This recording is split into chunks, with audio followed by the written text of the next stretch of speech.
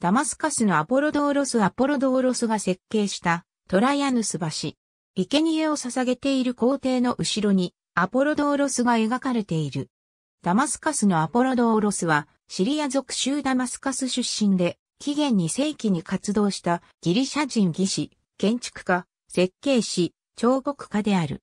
トライアヌスに気に入られ、105年から106年の第二次ダキア戦争の時、ドナウ川に架けるトライアヌス橋の建設を指揮した。ローマ市内ではトライアヌスのフォルムやトライアヌスの記念柱をはじめとして、他にもいくつかの建設を行っている。また、ベネベントとアンコーナのトライアヌスの外線門も設計した。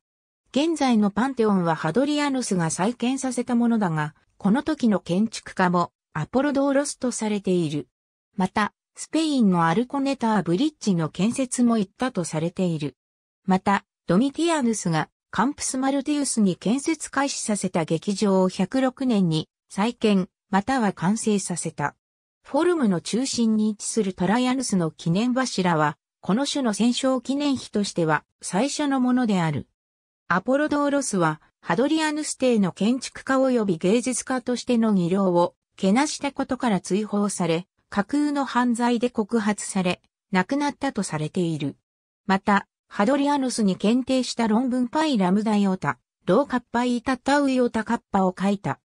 アポロドーロスの死にまつわる逸話は、ハドリアヌス帝への元老院における敵意が、その知性から随分後の時代でも続いていたことを示しており、カッシウス・ディオは自身が書いたことを信じていたと思われる。ディオの記述した逸話は、額面通りに受け取られてきたが、辻褄が合わない部分も多々あり、学者や歴史家はこの逸話を史実ではないとしている。ありがとうございます。